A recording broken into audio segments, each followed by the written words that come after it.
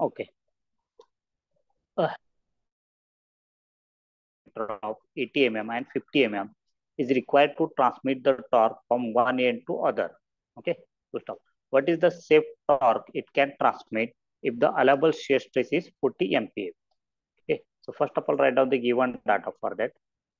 So external diameter it is given, external diameter of hollow circular shaft it is given, capital D is equal to it is, capital D is equal to 50, 80 mm, sorry, it is 80 mm and small d internal diameter it is given.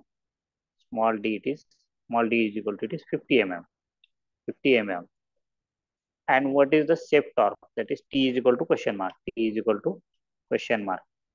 T is equal to question mark. And shear stress fs is given. Fs is equal to it is 45 mpa 45 mpa mpa means it is in newton per mm square. Okay so first of all write down the torsion equation. Torsion equation. In the relation of shear stress it is it is t divided by ip. T it is torsion. T is torque and ip. Ip it is polar moment of inertia. So polar moment of inertia it will be calculated. Ip is equal to ix plus iy then shear stress fs shear stress it is fs divided by r. R it is radius okay? So r it is radius in terms of d it will be d by 2 okay? In terms of d it will be d by 2 so this is equation okay? So polar moment of inertia it is ip is equal to ixx plus iyy ixx plus iyy okay? So moment of inertia in x direction moment of inertia in y direction so axis it is axis is equal to axis is equal to pi d raised to 4 pi in bracket in bracket capital D raised to 4 capital D raised to 4 so this is capital D raised to 4 this is external diameter minus small d raised to 4 minus small d raised to 4 small d raised to 4 divided by 64 divided by 64 okay? So this one it is for ixx as well as iyy okay? So this value it is ixx as well as iyy value okay? Put here ip is equal to ixx it is pi pi in bracket d raised to 4 d raised 4 d raised 4 then minus small d raised 4 then minus small d raised 4 small d raised 4 small d raised 4 divided by 64 divided by 64 64 plus plus plus so IOY it is also same value. IOY it is also pi pi in bracket in bracket pi in bracket in bracket. Capital D raised to 4 capital D raised to 4 minus minus small d raised to 4 minus small d raised to 4 divided by 64 small d raised 4 divided by 64 okay. So ixx iyy it will be same for hollow circular section. Okay. So both addition of this one it will be get polar moment of inertia for hollow circular it will be pi in bracket in bracket in bracket d raised to 4 d raised to 4 d raised to 4 minus minus small d raised to 4 minus small d raised to 4 divided by 32 divided by 32 this one it is polar moment of inertia. Okay. So pi capital D raised to 4 minus small d raised to 4 divided by 32. Okay. So next R it is radius it is is equal to it will be d by 2. capital capital D by 2. Okay. So put all this value in torsion equation. Just simplify T divided by T divided by IP it is IP it is pi into pi into in bracket capital D raised to 4 in bracket capital D raised to 4 minus small d raised to 4 minus small d raised to 4 small d raised to 4 divided by 32 divided by 32 divided by 32 32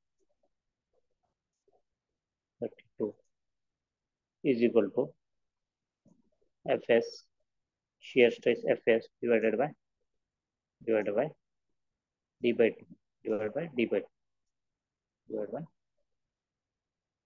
capital D by 2 okay? So now t is equal to write down now t is equal to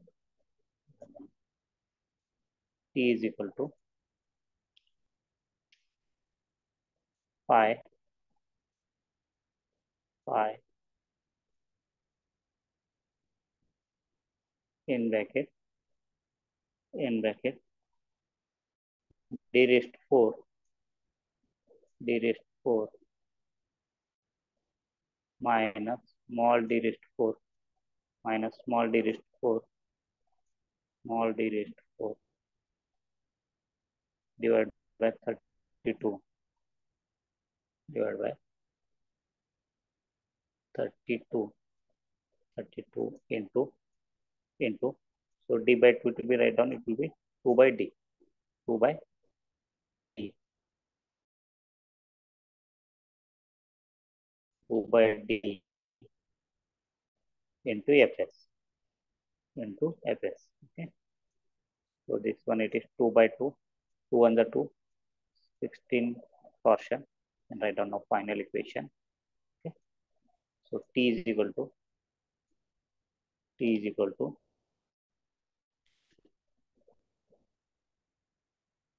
pi into pi into pi into.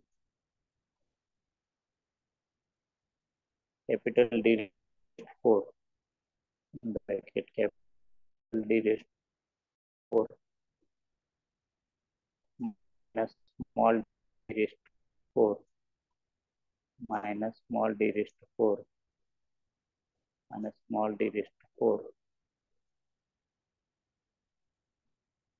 16d 16 into capital D into Fs into Fs. Put all this value here in this equation.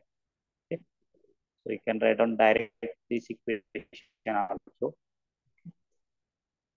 So is equal to all this value pi into pi into in bracket bracket.